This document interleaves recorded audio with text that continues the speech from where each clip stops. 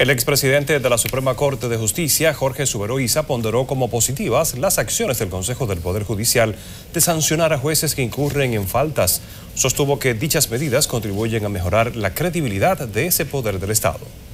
Por lo menos se están sancionando a aquellos jueces que se le, aquí se le consideran que han cometido algún tipo de, de faltas graves.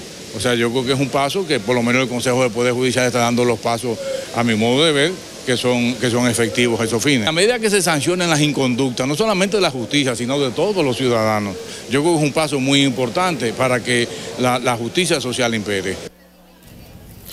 En los últimos días, varios jueces han sido apartados del Poder Judicial tras comprobarse faltas graves.